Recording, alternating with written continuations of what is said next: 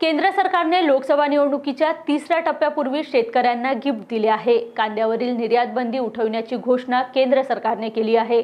आता शेतकऱ्यांना कांदा निर्यात करता येणार आहे. चाळीस टक्के निर्यात शुल्क लावून कांद्याची निर्यात करता येणार आहे. या केंद्र सरकारच्या निर्णयाचं फडणवीसांनी आभार व्यक्त करत स्वागत केलं. की केंद्र सरकारने आम्ही जी मागणी वारंवार करत होतो ती मान्य केली आहे. आणि कांद्यावरची निर्यात बंदी आता केंद्र सरकारने परत घेतली आहे.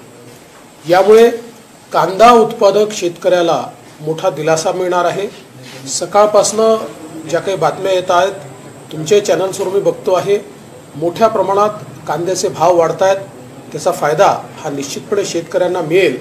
आणि केंद्र सरकारचे मी मनापासून आभार मानतो की केंद्र सरकारने निर्यात बंदी उचलली. माननीय मुख्यमंत्री महोदय मी अजितदादा आम्ही सगळे सातत्याने केंद्र सरकारच्या पाठीमागे लागलो होतो. केंद्र सरकारला आम्ही विनंती केली होती की शेतकऱ्यांचं नुकसान होत आहे त्यामुळे ही निर्यात बंदी आपण उचलली पाहिजे आणि त्याला प्रतिसाद केंद्र सरकारने दिला आहे याचा मला मनापासून आनंद आहे.